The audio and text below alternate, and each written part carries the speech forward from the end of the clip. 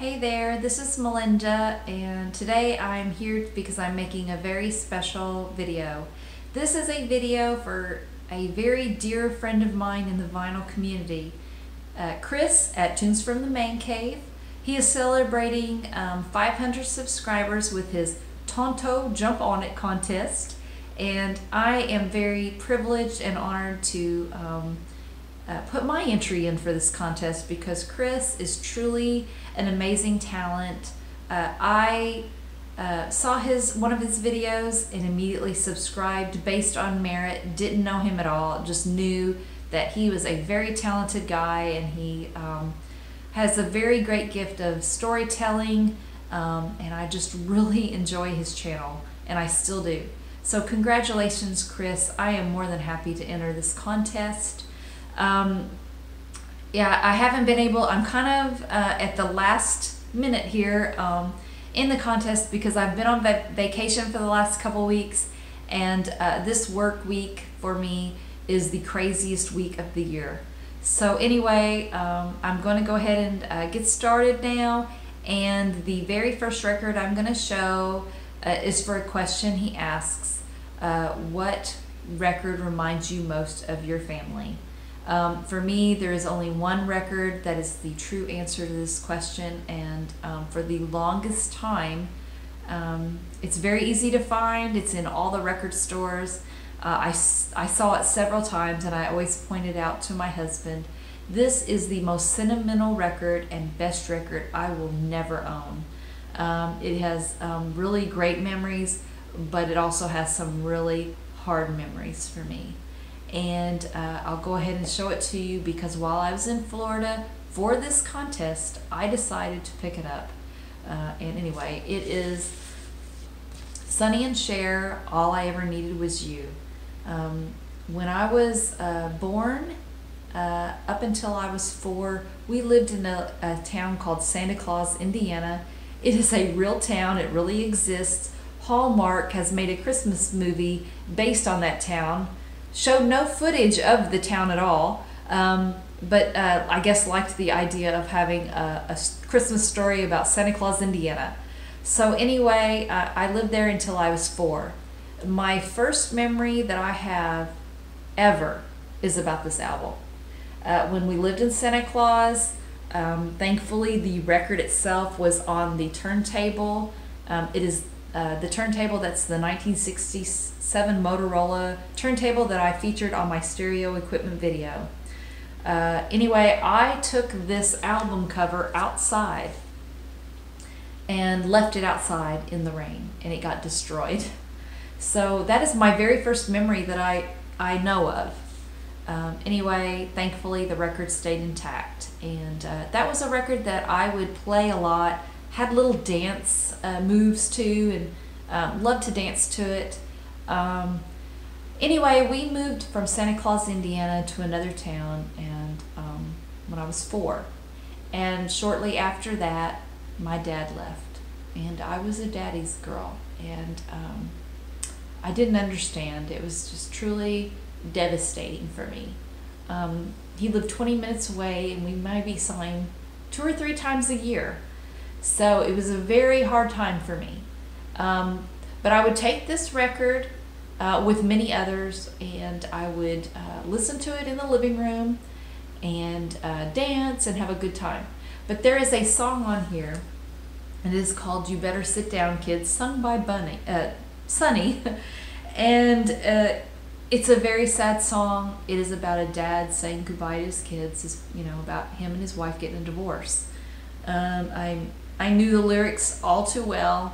And even though I would be dancing and having a good time when that song came on, I would kind of go into my little corner and cry. Um, I never wanted anybody to see me. I wanted to keep it to myself. Uh, even back then, I knew that was just something I wanted, didn't want to share with anybody.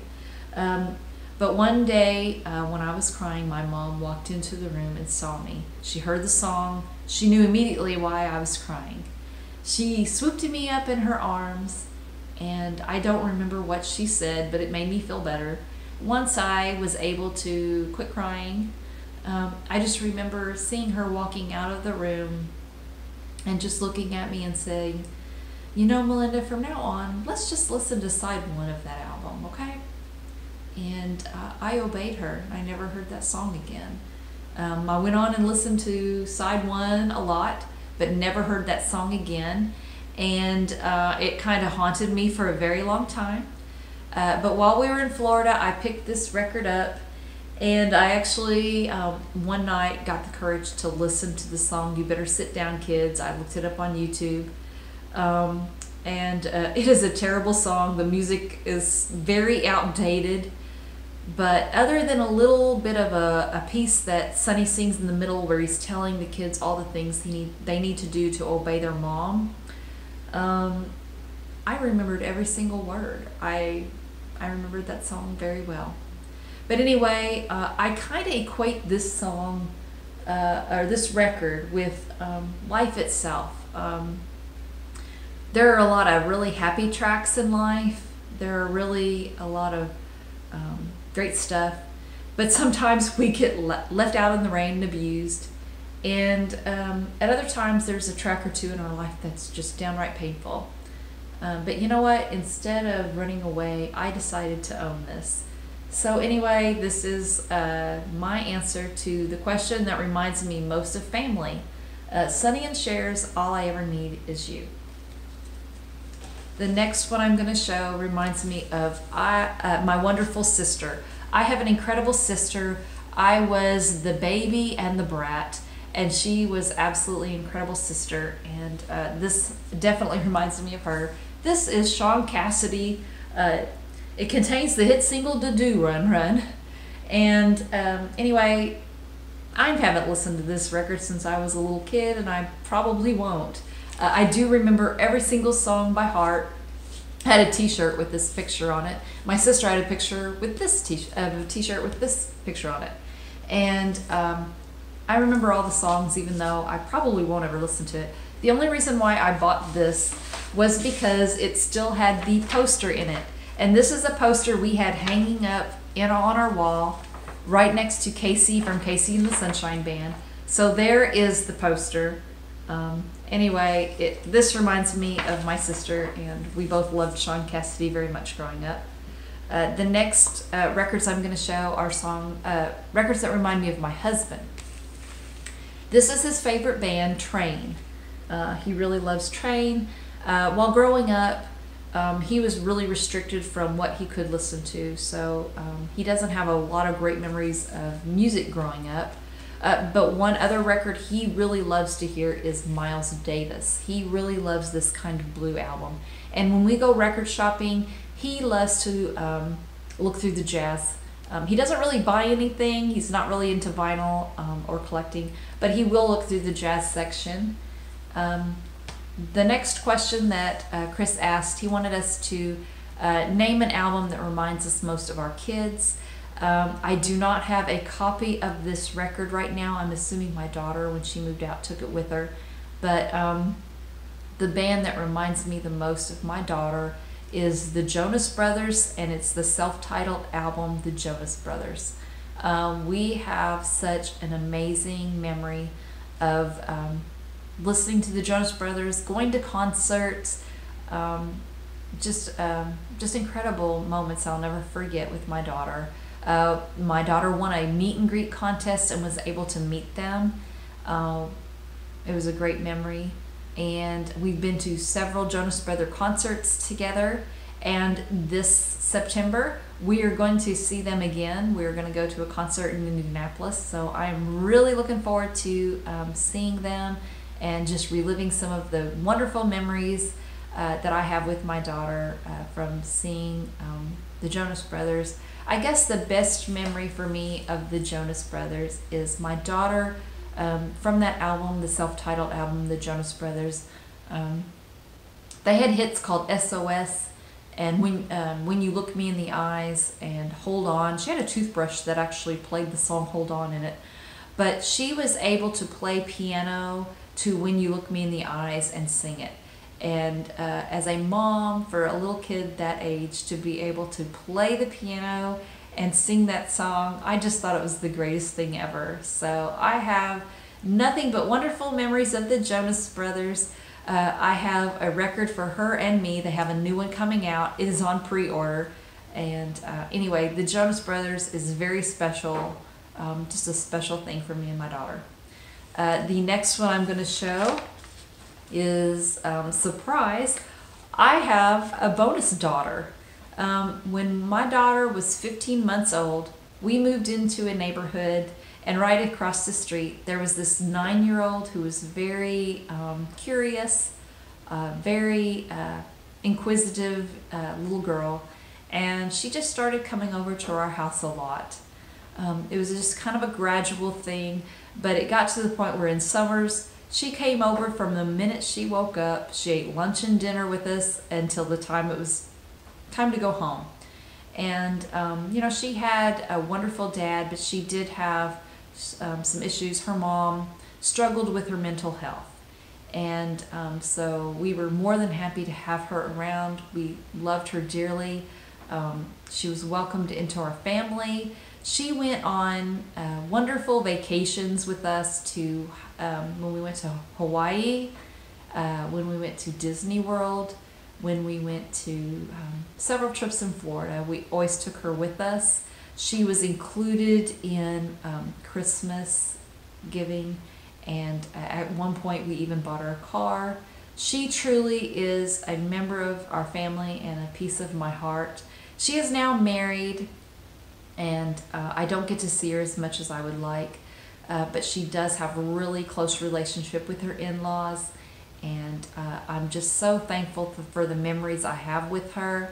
Uh, we did have a very special, uh, every Christmas, we had one day, and we still do it every year. Um, uh, we do gingerbread cookies. And uh, so that's a whole day. It takes the whole day to do because we quadruple the recipe and we bake cookies.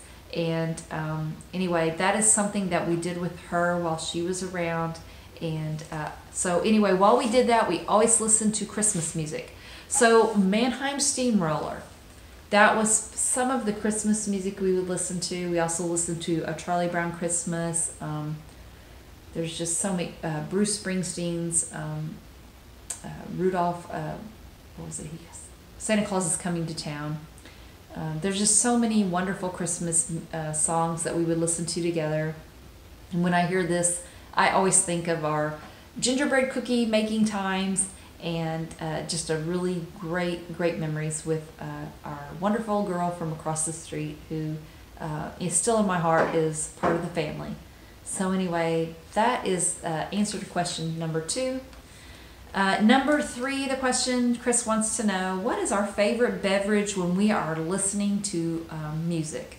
And for me, um, I have a very favorite beverage of me for me is Diet Mountain Dew. I have a really big obsession with that drink. I really love it. Um, every once in a great while, I like to have a little um, Four Roses bourbon, uh, neat, and uh, but not very often. The rec uh, the beverage of choice for me is coffee. When I'm listening to music, I love to drink coffee, and I am such a weirdo that I actually have a mug this is my favorite mug. It is the right weight, height, feel, and of course it's uh, got the Beatles on it, so it is a very cool mug.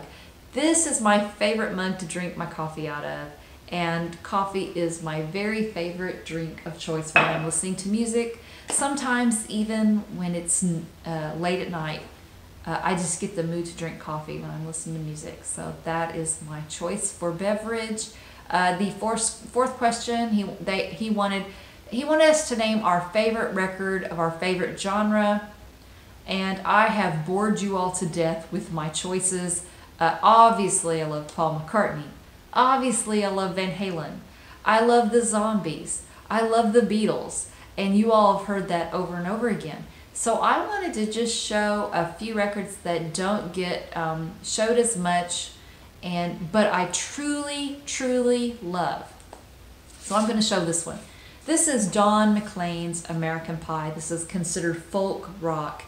Um, I love this album. I think it is so fantastic. American Pie is a really great song, but it's not even the best on this album. this my favorite is Vincent. Uh, I love Till Tomorrow and Crossroads, Another Side. Uh, it just goes on and on. This is a fantastic album, one of my favorites, and I don't think I have ever shown it on my channel before. So I thought, just to kind of be fresh and, and just show something different, uh, I wanted to show this one. For the psych category, I love the Electric Prunes. I've shown this um, in one of my videos when I actually bought the album, and that's it. But for Psych, this is my favorite. I absolutely love it. I know they consider Revolver by the Beatles and the Zombies, Odessey, and Oracle as Psych, but this is truly what I would call a Psych record, record and I absolutely love it. Uh, for what I would call New Wave, I love The Cars, uh, self-titled The Cars. I love every album they made, every nearly every song they've ever done. But to me, the uh, self-titled The Cars album has incredible music. Uh, Good Times Roll, My Best Friend's Girl, just what I needed. Um, I'm in touch with your world. Uh, you're all I've got tonight, and Moving in Stereo is absolutely phenomenal. So this is another one I wanted to show just to kind of show something a little different so you didn't fall asleep during my video my favorite jazz record because uh, Chris is a huge jazz fan. That is his favorite. I wanted to show my favorite jazz album. It is um, Saxophone Colossus by Sonny Rollins. Such an incredible record. Um, and I guess a very close second place would be In the Silent Way by Miles Davis. I think that one is fantastic too. Um, I don't have a lot to go with because I'm not uh, I don't know tons of jazz yet. I am kind of warming up to it, but this is a an absolute killer one. Another one that comes to mind is Duke Ellington's Indigos. I really love that album too, but this is my favorite. Uh, Sonny Rollins Saxophone Colossus. The next question that um, Chris asked, he wants to hear a really great story about a record. And um, this is the best story I have. Uh, the Beatles yesterday and today. Uh, my daughter was moving. Uh, she had gotten a job. She is a cardiac um, research, does cardiac research for a university. And we were moving um, her to where she lived. Um, and we also went to a few record shops. Uh, this was about the third stop we made of the day. Um, we went to this little tiny shop where she lived and uh, I went into and immediately started looking in the Beatles department. Came across this, and if you see this, it says uh, I kept it in this sleeve on purpose because I still get goosebumps when I see it. Butcher cover paste over thirty dollars. I saw this um, and pulled it up. Immediately started shaking and getting really nervous. My husband was over in another part of the store, and there were a lot of people in that store and I was trying to get his attention without calling attention to myself. And so my eyes were like, I was looking at him getting real big eyes, trying to get his attention. Finally, he looked over at me and he was like, Are you okay? and I showed him this. He immediately saw it and he's like, he, he knew, he could see right here clearly. If you look at this record, you can clearly see Ringo's v neck and you can see his face in the light if you look carefully enough. So he looked at it, he goes, Oh, well, you better hang on to that one. And I'm like, No crap, you know? Um, so anyway, I hung on to it. I waited till everybody else had left the store because I was so afraid that when I got to the cash register and someone else saw this record, they would say, Oh, that record's worth a ton of money. And they wouldn't sell it to me. So I waited till everybody else was gone and I bought this record and I left shaking in a total flop sweat. and I was absolutely so excited to have this.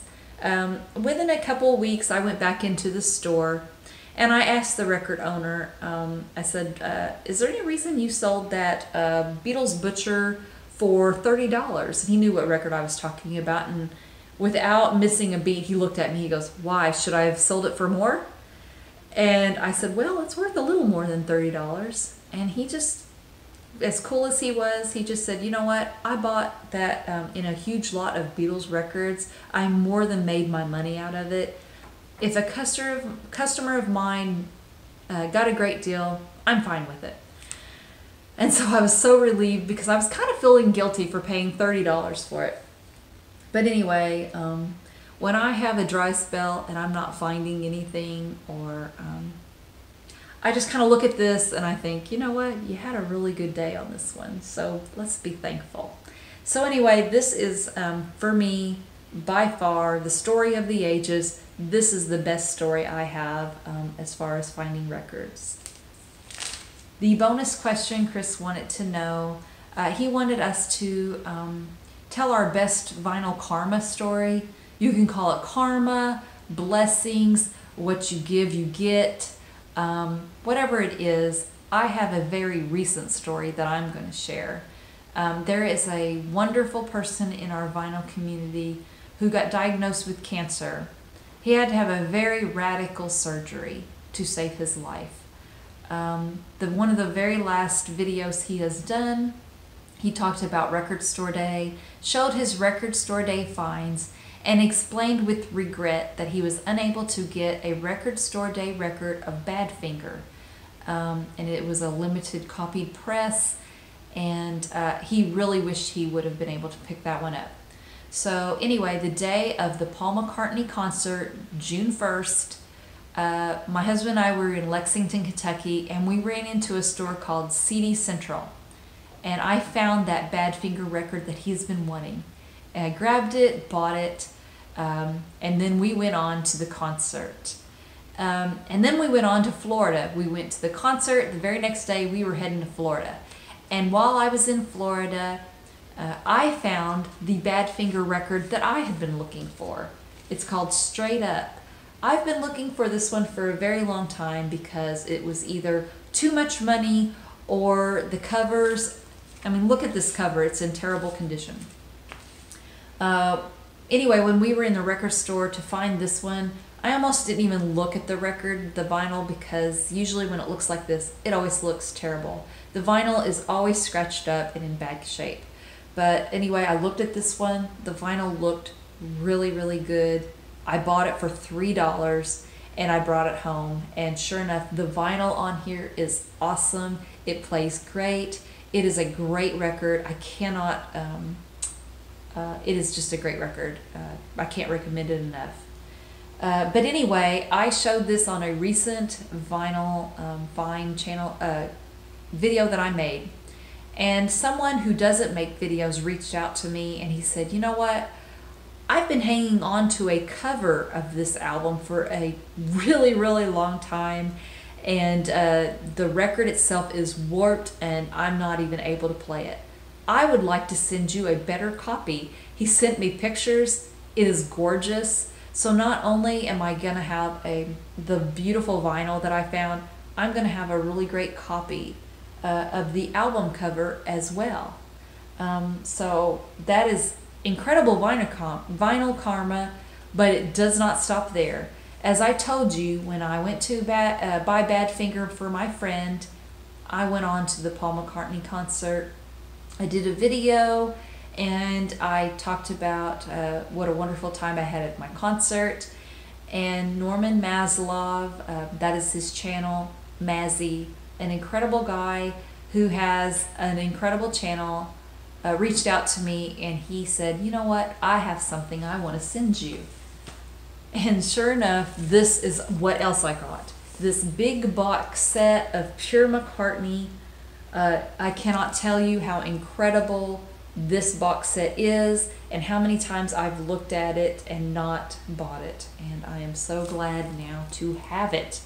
He also sent me a bunch of really amazing 45s.